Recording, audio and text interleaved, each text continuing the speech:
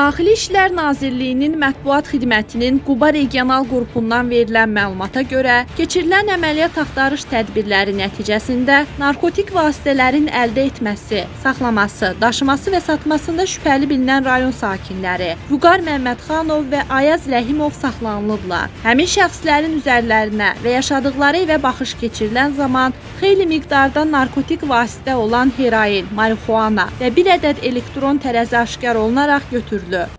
Mən Məmmədxanov Vüqar İlhamoğlu, Xudad şəhəri Nəsil Malikanə ev nömrə 5-də yaşayıram.